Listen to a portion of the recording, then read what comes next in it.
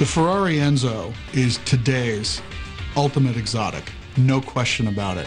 It's an extremely high-tech car.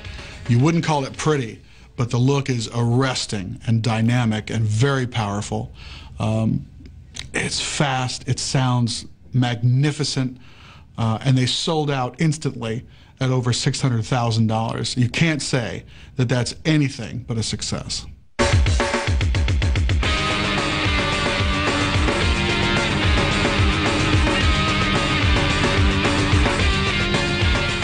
The Ferrari Enzo is so exclusive, buyers had to be invited before they were allowed to purchase one. Currently, they are changing hands for over a million dollars.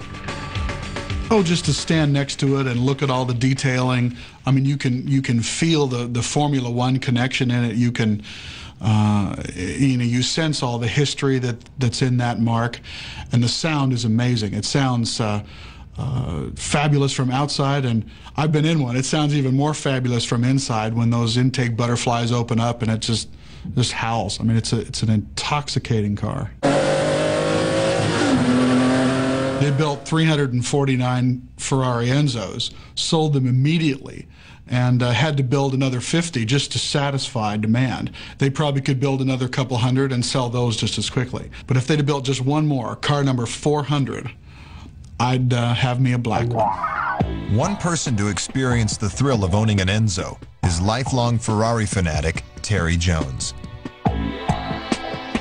I feel absolutely lucky to have had this opportunity. To be able to buy a 660 horsepower, lightweight Kevin fiber car with this kind of performance and technology is sort of like being able to buy a fighter jet. It is incredible.